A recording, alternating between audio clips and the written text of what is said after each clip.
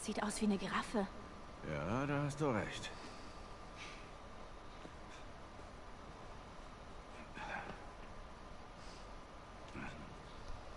Wirklich reizend. Sag ich doch. Jetzt nimm wieder den Hut!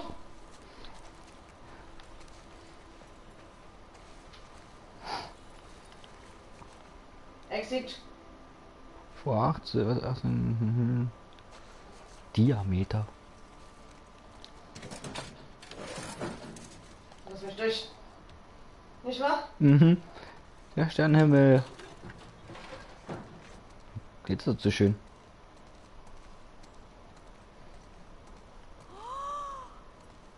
Hast du das etwa gewusst?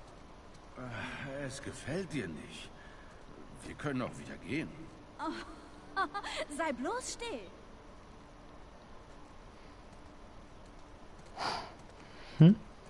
Drehen. Hey Joel, kannst du alle Planeten aufzählen? Mein Vater erklärt mir jeden Sonntag unsere neuen Planeten. Äh, hallo? Alles klar bei dir?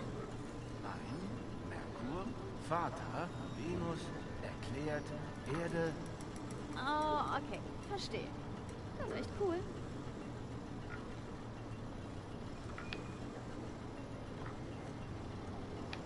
Was das schon? Bleiben einige stehen? Nee.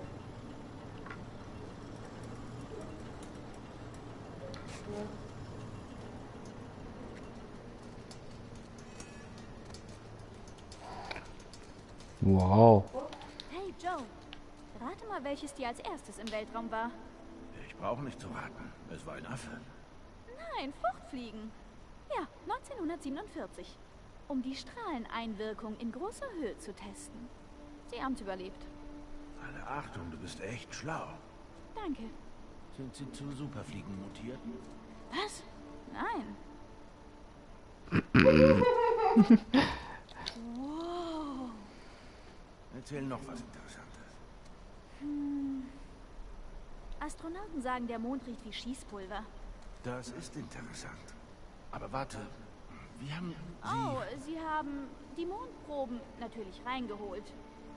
Und ich schätze später dran gerochen. Und jetzt die ganz große. Okay, was jetzt? Sag du es mir. Ähm, frag mich. Ich weiß nicht. Wer war der erste Mensch im Weltraum? Leicht. Juri Gagarin. Gagarin? Ist das... Gagarin, oder? Ich weiß nicht, wie man das ausspricht, hab's nur gelesen.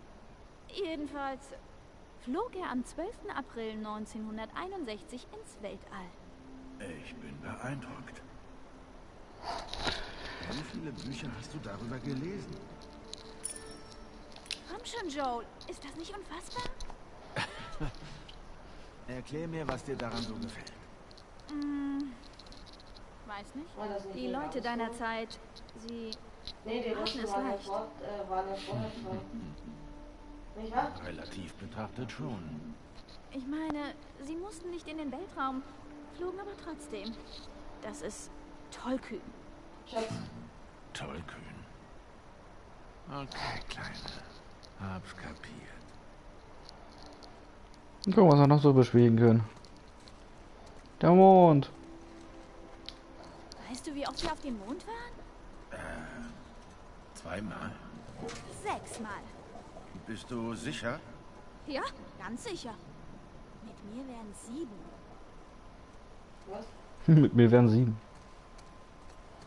Wie oft ist das? Was? Sechsmal waren die schon auf dem Mond. Was hast du jetzt gemalt? Ah, Eines Tages fliege ich zum Mond. Dann hast du bei, bei der Kap- Apokalypse was zu tun. hast du mich auch gerade noch eine Karte eingesammelt? Ja.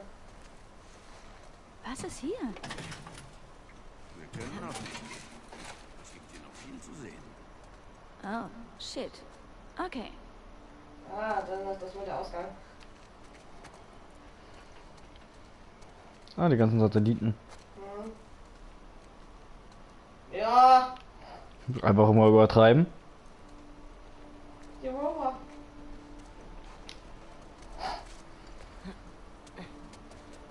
Oh, Hammer.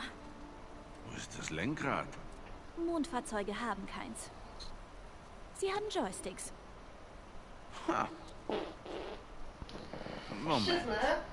Ist das der echte? Da die Echten auf dem Mond geblieben sind, eher nicht. Äh, war ja eine doofe Frage. Ist es der echte? Hm. Na, es sieht nur so aus. Erst die kleinen, dann die großen Sachen, wa? Die verschiedenen Anzüge wahrscheinlich, wie sie da. Mhm. Sechsmal. Jetzt den Hut einfach. So cool. Jetzt weiß ich, warum sie den einfach weggeschmissen hat. Wie riecht's da drin? Nach Weltall. Und Staub.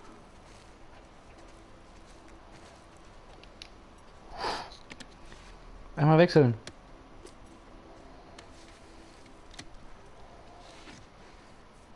Sieht aus wie von Star Wars. Das Symbol.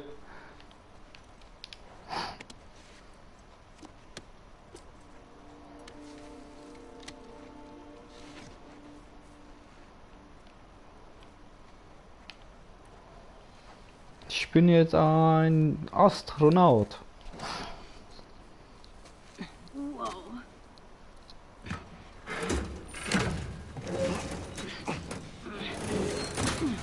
Einmal das dir. Ja, sie passt doch locker rein. Joy hätte wahrscheinlich Probleme. Von einigen mit seinem Rücken. Vorsicht.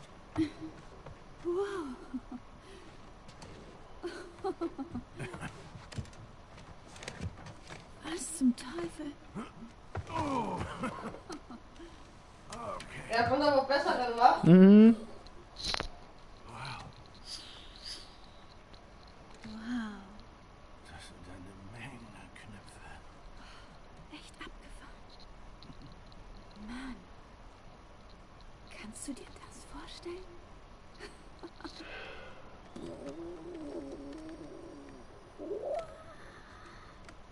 Happy Birthday, Kleiner.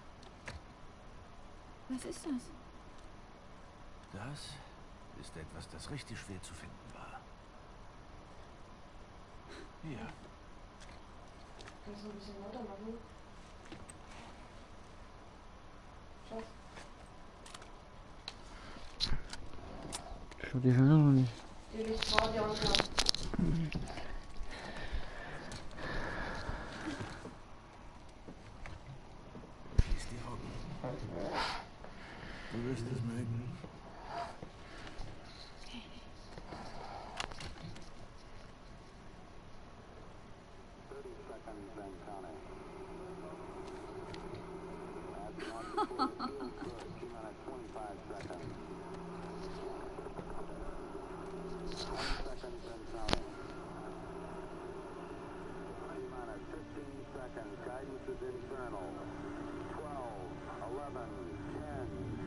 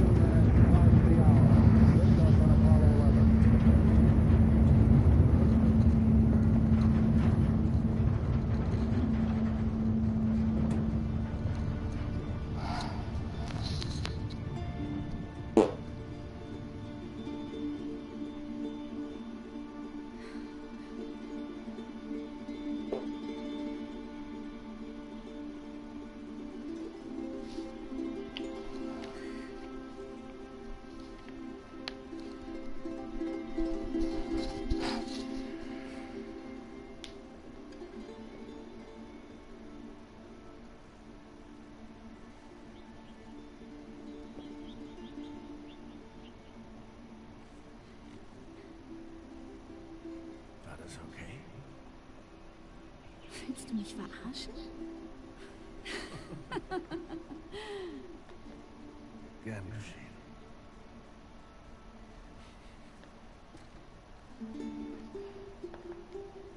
Der einsame Vater, nicht wahr? Na, was meinst du? Sehen wir uns noch ein bisschen um?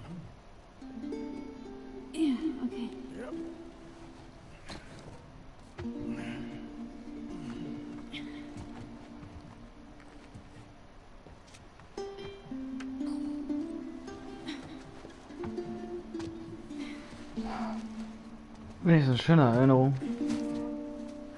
Hey. Willkommen auf der Erde. Und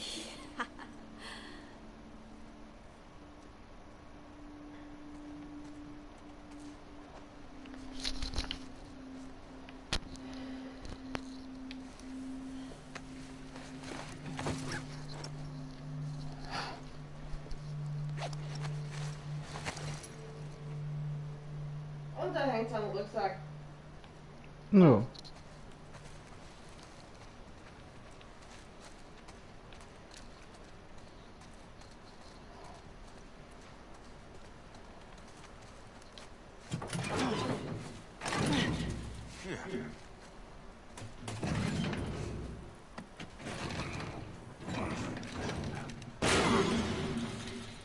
Oops. Noch mehr Museumszeug. In dem Gebäude war ich noch nie. Dann los. Und wie genau willst du da hinkommen?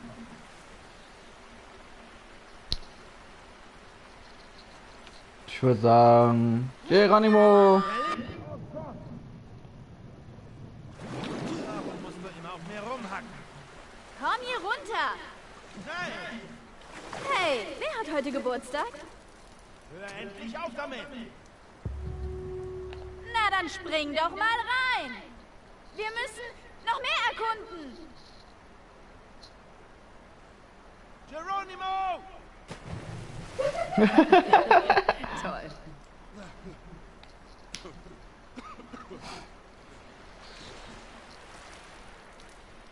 Na, wie kommst du rüber?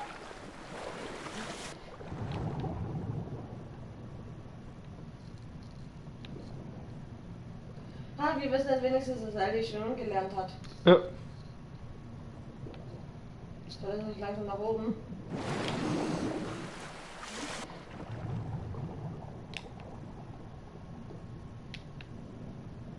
Was ist das irgendwie? Taschenlampe funktioniert auch nicht richtig? Ja. Zum Teil.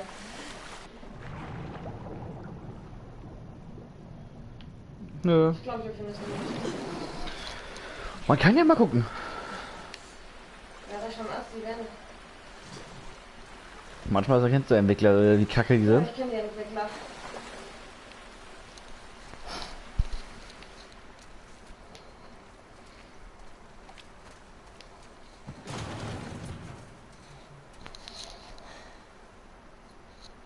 Hey, heb mich da rein. Ich weiß nicht. Ich mach die Tür für dich auf. Komm, sei kein Spielverderber.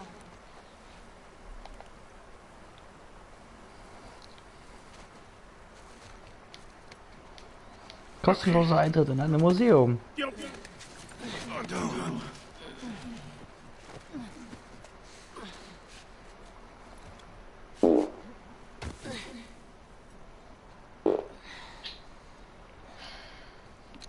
Okay, schlechte Neuigkeiten. Irgendein Mist blockiert die Tür. Dann sieh mal nach, ob ich anders bereit bin. Okay, sei vorsichtig. Ne, Tukuno Museum. Hier gibt's Dinosaurier.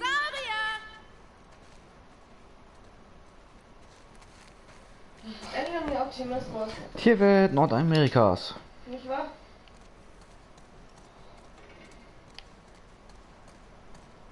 Wow. Riesenvieh. Oh, alles Gute, Kumpel.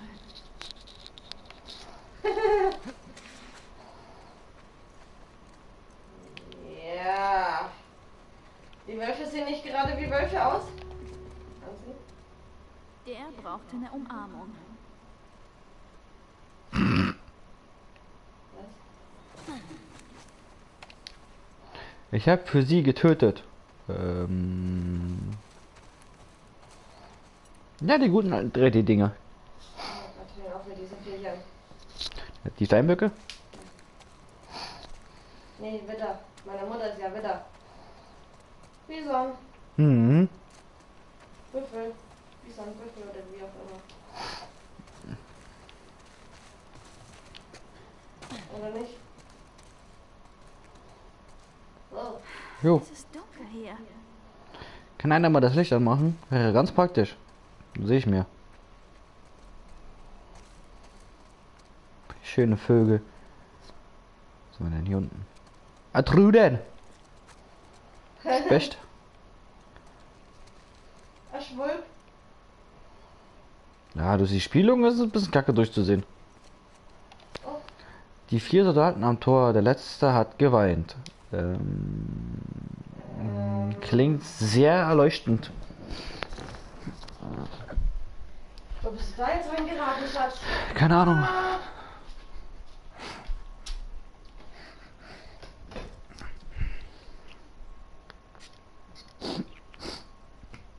Oh. Oh, also juckt. Du gerade was reingeschoben? Ich kann wieder hier gemacht. Ähm, Scheiße. Die Frau, die wir gefoltert haben, sie ist an ihrem eigenen Blut erstickt. ähm,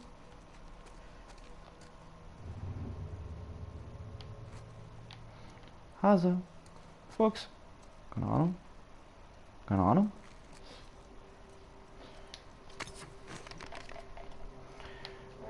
Ich will Licht gerne behalten.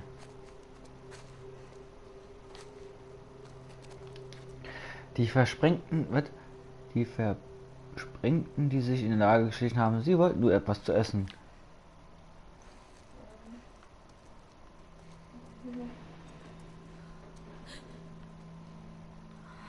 Komm raus, Arschloch.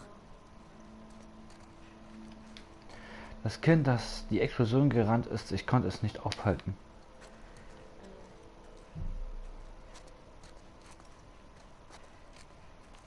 Okay, da kann ich nicht durch. Hast du den Spruch schon? Ne, noch nicht. Die Leute im Van, wir haben sie eingeschlossen und mit Benzin übergossen. Alter, was haben die angestellt? Oder denn die gefolterte Frau an ihrem eigenen Blut erstickt?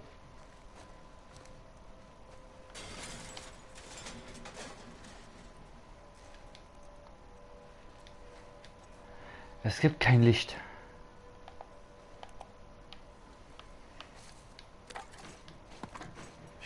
Munition. Wir soll, wollten das Leid beenden. Wir wollten die Menschheit retten. Jedes Mal, wenn wir einen Teil von uns geopfert haben, sagten u- unser Anführer, das ist es wert. Jetzt haben wir uns aufgelöst und nichts kann unsere Sünden mehr entschuldigen. Ich dachte, hier, hierher zu kommen würde wieder irgendwas in mir entfachen, einen Sinn. Meine Eltern sind so gern mit mir hier gewesen. Es ist eine meiner frühesten Erinnerungen von, von, von vor dem Ausbruch, von der ganzen Grausamkeit und Brutalität. Diese Erinnerung hat mich nur noch wütender gemacht. Ich will in, in dieser Welt nicht mehr leben. Ich kann die Person nicht mehr ertragen, zu denen, äh, der ich geworden bin.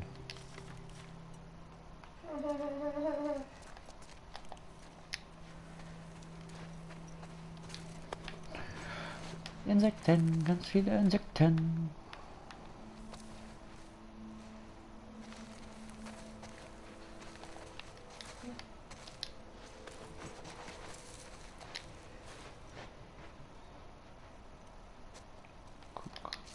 Wow. Hey.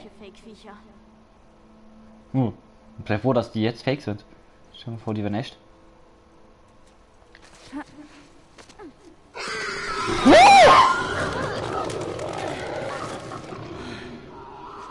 Schock!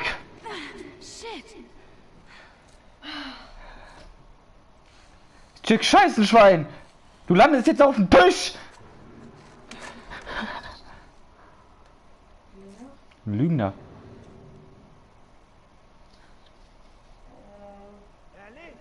Ich bin hier.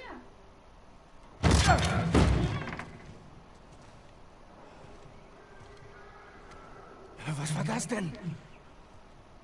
Nur irgendein Tier.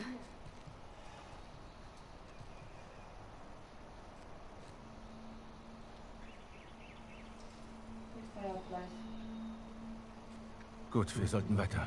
Ich will ein Feuer machen, bevor es zu dunkel wird. Na komm.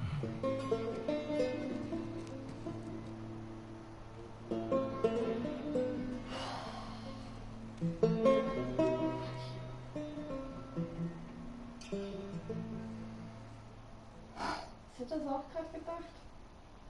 Schatz? Denkt an alles, aber nicht an sowas. Seattle, Tag 2. Was erst?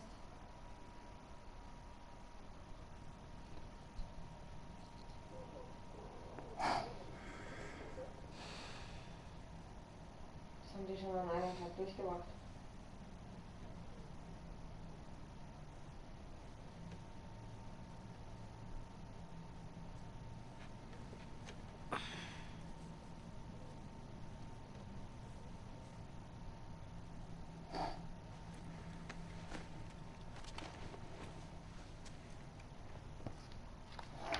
Willst seinen Rest mitnehmen? Oh, ich übe erstmal. Weiß doch, ob da irgendwas ist.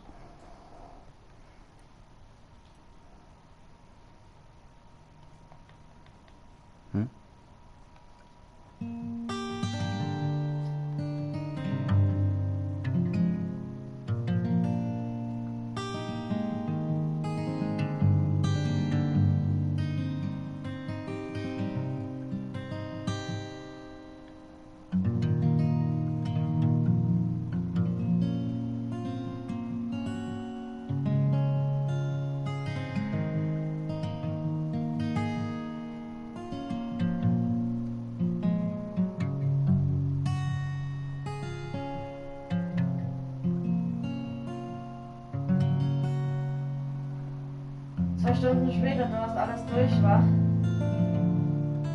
Schatz.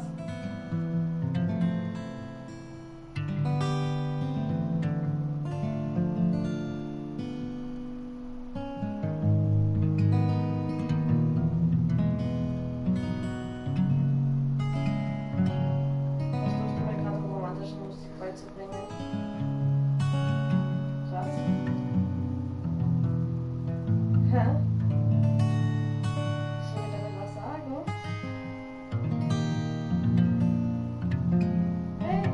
Du? Entschuldigung. Ich sehe besser nach.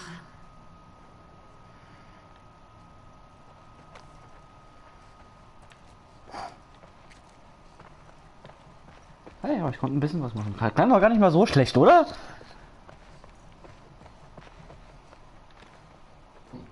Mit ein bisschen Übung geht's besser.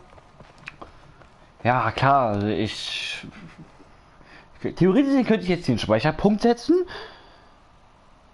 viel üben und dann mache ich ein Video draus. Wie ich ein ganzes Lied äh, imponiert habe. Nimmst du das auf und dann hast du schon dein Lied. Für deinen Song. Wäre aber geil. Du willst es jetzt nicht echt durchziehen.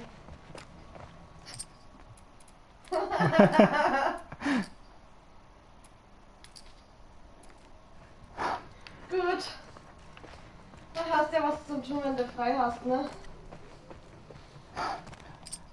Ich muss sowieso hier erst äh, die Aufnahme beenden, so wie den Stream.